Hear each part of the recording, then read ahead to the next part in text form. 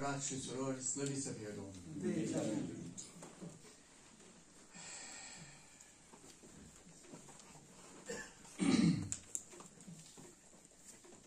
Și ieșind de acolo, a plecat Iisus în părțile Tirului și ale Sidonului. Și iată o femeie cananiancă din acele ținuturi, ieșind, striga, zicând, Miluiește-mă, Doamne, Fiul lui David, fica mea este rău chinuită de demon. El însă nu i-a răspuns niciun cuvânt și apropiindu-se ucenicii lui, îi rugau, îl rugau zicând, slobozește-o, că strigă în urma noastră. Iar el răspunzând a zis, nu sunt trimis decât, decât către oile cele pierdute ale casei lui Israel. Iar ea venind s-a închinat lui, zicând, Doamne, ajută-mi! El însă răspunzând i-a zis, nu este bine să iei pâinea copiilor și să o arunci câinilor. Dar ea a zis, da, Doamne, dar și câinii mănâncă din fărmiturile care cad de la masa stăpânilor lor. Atunci răspundând Iisus i-a zis, O femeie, mare este credința ta, fie ție după cum voiești. Și s-a tămăduit fica ei din ceasul acela. Iubiții noștri, frați și surori, în primul rând vrem să vă mulțumim tuturor celor care ați venit la noi în satul nostru, în Lăloaia, în casa de adunare din Lăloaia. Aici unde cei care sunt acolo în față au fost împreună cu noi, cu noi o bună perioadă de timp și acum sunt dincolo, tot lângă noi. Și am venit aici ca să-i pomenim, să ne facem datoria sfântă care o avem. Fiecare dintre noi, mai ales, așa cum spune acolo împăratul David, mai ales pentru casa noastră, pentru familia noastră, pentru adunarea de unde suntem și unde aparținem fiecare dintre noi și unde avem o lucrare de făcut fiecare dintre noi în adunările unde suntem. Și copiii, și surorile, și frații. Fiecare au ceva de făcut. Am citit aici, dar înainte de a spune ceva din Evanghelie mai scurt, am găsit un cuvânt a părintelui profesor Dumitru Stăniloae și spune așa, ostașii Domnului sunt datori să lupte contra mândriei și trebuie să cultive smerenia și iubirea între oameni, dăruindu-și unii altora iertarea. Și prin aceasta vor menține vie virtutea în Hristos și Biserica Lui.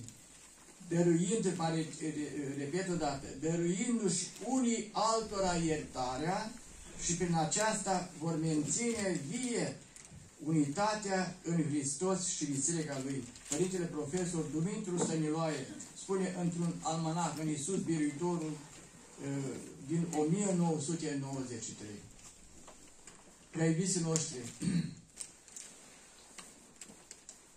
am văzut fiecare dintre noi care venim, o parte suntem, spuneți mine, sunt născut în lucrarea aceasta. Și de atâția zeci de ani am luat parte, majoritatea dintre noi, la adunările care se țin în sările noastre de adunare sau prin case pe unde suntem. Și fiecare am văzut până acum, dacă ne uităm în urmă, ceea ce și cu cât am contribuit noi, fiecare dintre noi, în adunările noastre. Și aceasta se vede, știți unde se vede? Se vede în copii, fraților. În toate stările, totdeauna noi ne plângem de copiii noștri, dar se vede în copii. Felul cum noi ne comportăm și cum ne aducem și cum suntem aici și cum uh, căutăm ca să fim ca înaintea lui Dumnezeu, se vede, este un proverb, se vede mâine, se vede în, în copiii noștri. Și dorim, care nu vrea dintre noi ca să aibă o familie curată, să aibă copii frumoși și sănătoși, să aibă copii care sunt împreună cu noi aici. Fiecare am vrea.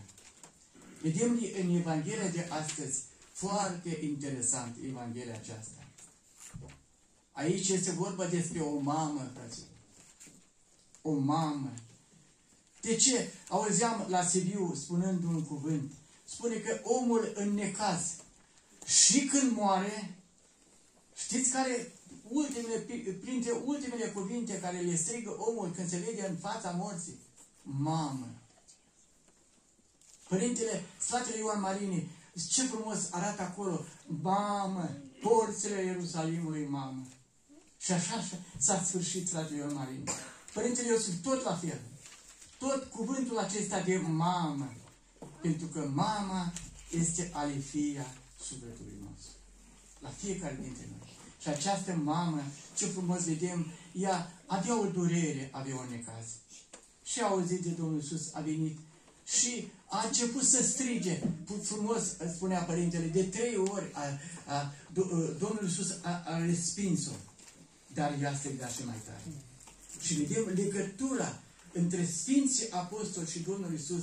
De aceea Domnul Iisus, cât a fost pe pământ, ce, acei trei ani și jumătate, așa de frumos a lucrat, încât a putut să se înalțe la cer cu gândul și cu misiunea împlinită. Pentru că i-a format frumos pe Sfinții Apostoli. Și ei au fost aceia care au fost lângă Domnul, lângă Domnul Isus. Și acum spune, ei îi spune, dă drumul că strigă după noi.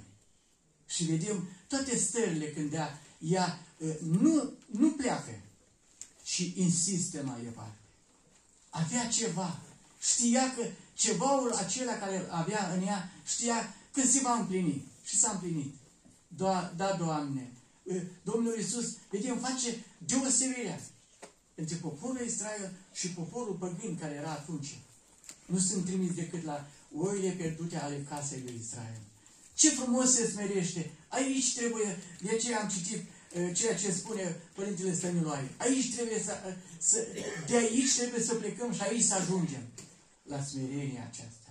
Da, Doamne, dar și căței mănâncă din fărmăturile care care cade la masa stăpânului său. Ce frumos!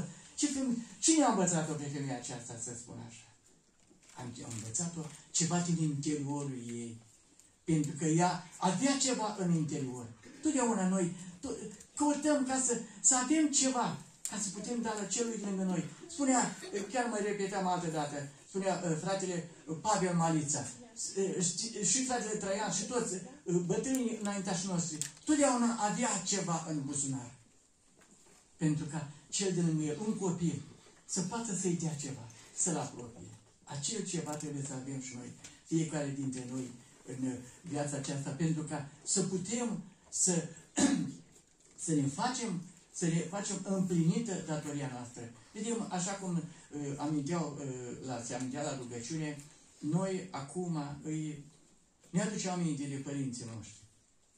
Ce frumos Sfântul Apostol Pavel, vedem acolo în uh, evreilor, ce frumos uh, se adresează evreu, evreilor în două, în, uh, uh, vreau să spun, în două versete acolo. La capitolul 13 cu 7. Și spune, aduceți-vă aminte de mai mari voștri și apoi continuă care v-au vestit vouă cuvântul lui Dumnezeu.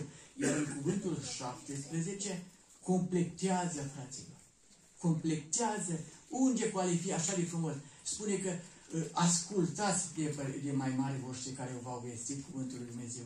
Căci ei priveghează asupra sufletelor voastre, ca unii care au să dea socoteală în fața lui Dumnezeu pentru ele. Așa, aceștia din mintea noastră vor da, dau socoteala înaintea lui Dumnezeu. Și noi, în seara aceasta, aici, vrem ca să, să putem să vorbim ceva, frații să vorbească ceva despre părinții noștri care au fost. Ne aduc aminte, eu am venit aici în Lăloaia de câțiva ani. de 47 de ani.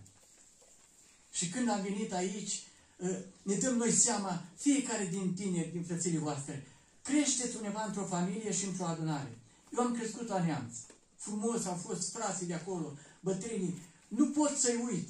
Au fost și noi tineretul de atunci, știți cum eram? Eram cot la cot cu părinți, cu bătrânii. Eram lângă ei. Căutam să fim aproape de ei. Și de aceea ne-au învățat frumos. Și am venit aici, în Lăloaia, în Comănești, aici. Și aici au fost, am dat peste alți bătrâni. Alți stâlpi, fraților, care au fost și au fost stegarii oasei Domnului. Fratele Costică Iacobuță, fratele Androni, iar la noi în Lăloaia, aici bunicul Voaideș, fratele Ioan Voaideș. Ce oameni mari au fost aceștia.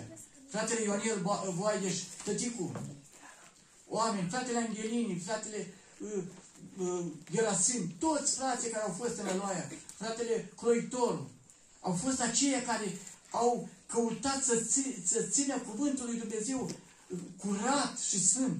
Și de aceea adunările au continuat. Adunarea frumos merge, lăsată de atunci.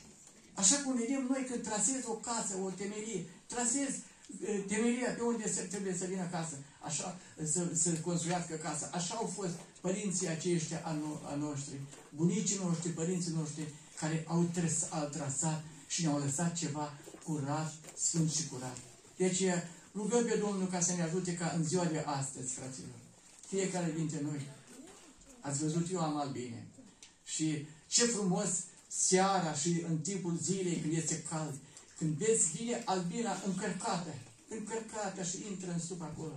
Și de unde? Ia din fiecare, nu dintr-o floare, din fiecare floare câte ceva.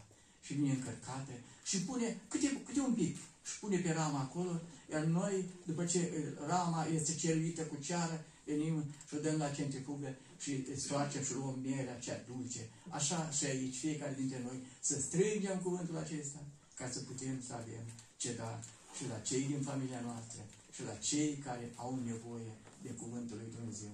Slăviți să pe Domnul!